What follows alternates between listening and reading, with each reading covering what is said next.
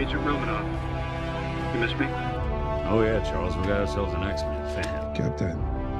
Your Highness. Captain, big fan, Spider-Man. Hey everyone. Hey guys, and welcome to Film Artsy, your number one source for all things films and movies. And one show that's really pushed the boundaries as to what superheroes can do on maybe a television show rather than a movie definitely is the whole TV series surrounding the Arrowverse franchise. And whether it be shows like The Flash or some of the other shows on the network, it's really cool to see what they've been able to do. But one thing that's really awesome is that this show actually, and quite often, acknowledges the Marvel Cinematic Universe in one way or another, which we think is something really cool. Even though this is mostly a DC franchise, the fact that they still acknowledge that the MCU has been really special in creating a genre and this thing that allows all these crossovers to happen is a really cool way to pay homage. And there are so many MCU Easter eggs scattered throughout the Arrowverse, so today we wanted to take a look at some of our favorite ones. Let's go ahead and jump into it.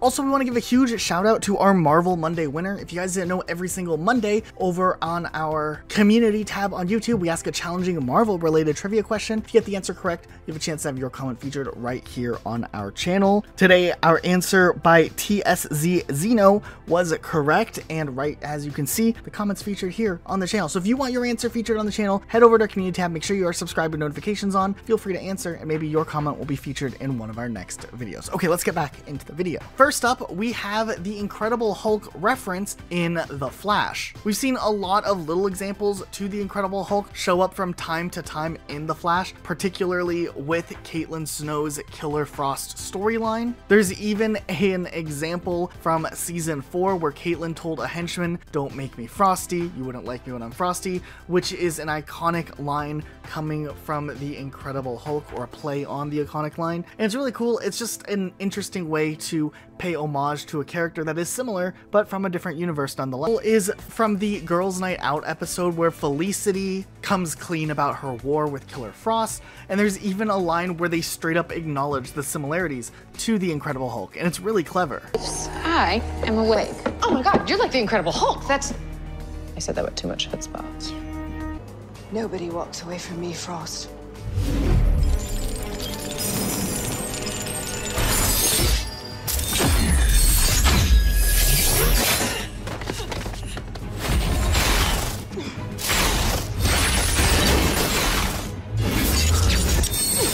And real quick, before we jump into even more of these awesome references, we wanted to give a huge shout out to our Instagram page. If you guys didn't know, we just passed over 8,000 followers over on Instagram. So we'd really appreciate if you guys headed over to our Instagram, scrolled through some of our posts, maybe hit the like button and followed us over there. We do a lot of really interesting content if you love comic books, the MCU, DCEU, whatever it is. If you just like movies, it's a really cool page. We've been working really hard on it and it would mean the world to us if you went over and checked it out as well. In a fight against Vandal Savage, we actually see Team Arrow and Team Flash decide to hide away in a farmhouse. And there's literally even a great reference to how there's a bunch of superheroes hanging out in a farmhouse. They even acknowledge that they've seen that movie before, which is a direct reference to Avengers Age of Ultron when they go to Hawkeye's house and it's on the farm, of course, and it's just a very clever play on a plotline that they acknowledge is kind of funny in that sense.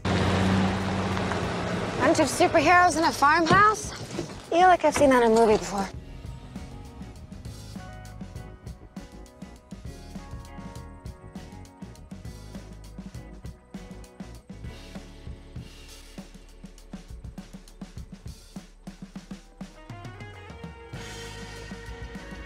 What is this place? Safe house. That's all. We've seen other little examples along the way, like the Infinity Stones being referenced in Legends of Tomorrow. We've actually seen in The Flash, Barry makes a reference to feeling his spider sense, which is obviously a very direct reference to Spider Man and Peter Parker's Spidey sense.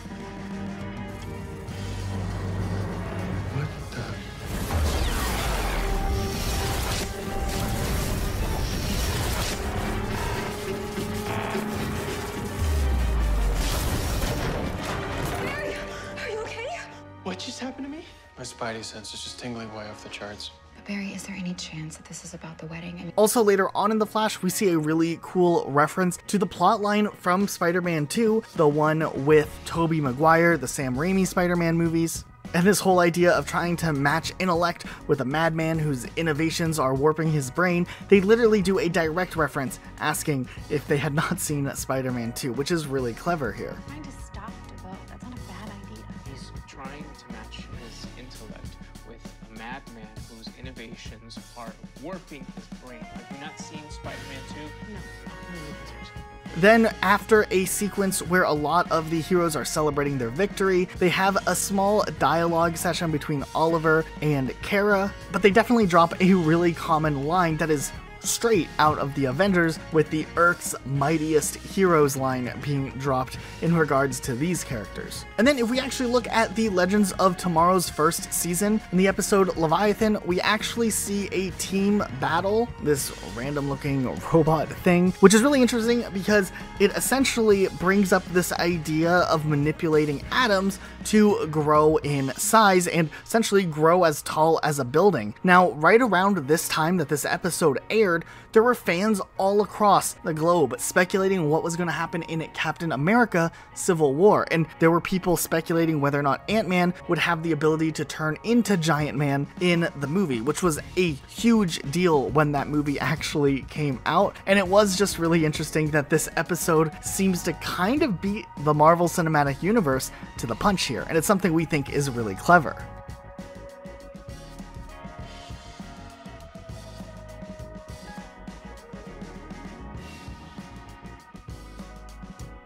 There's a lot of these Marvel versus DC rivalry, which I don't understand. What is your take on that?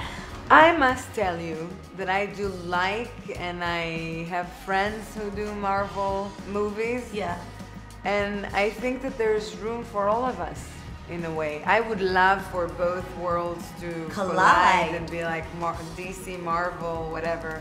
I think the rivalry lives in the fans more so than it does in us. Yeah. Um, for all of us who are making these movies, or I'm sure for the comic book artists and writers, it's there have been rivals in the past, but now it's just about celebrating these characters. Certainly for us. I mean, I'm sure when it comes to deep finances, when it comes to DC and Marvel, there's always going to be competition, yeah. But they need each other to survive as well. If one goes down, that means superheroes aren't popular.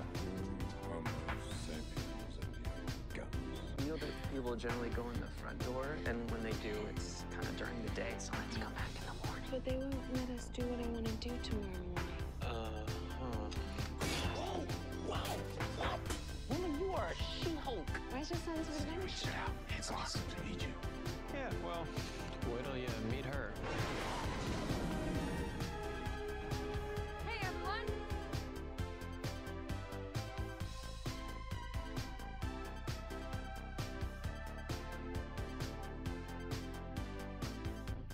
Do you think that maybe a Marvel and DC world could collide? Because given this villains, the real life villains that we have today, seem a lot scarier than the superhero villains that we have.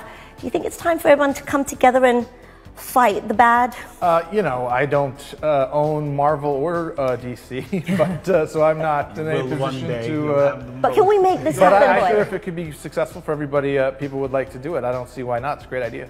But you know, it's like it's like it's red and blue. I mean, Yeah. literally down to like what what do you like? What are you into? I think you know to put it all together, you don't want it to take this sort of homogenized sort of tone either. You know, you want it to. I would love to see some of these characters fight one another. That'd be really interesting. That would be to see. awesome, right? But you also want to make sure that you're you, that you maintain your own style and integrity. So, what did you guys think of some of these references? Are you a fan of them? Let us know what you think in the comments down below. Be sure to subscribe with notifications on for more videos just like this, and we'll see you all next time with a brand new video. Bye, guys. Talking? I'm about to. Hi, everybody. Hey, everybody. How you doing? Hi. Hi.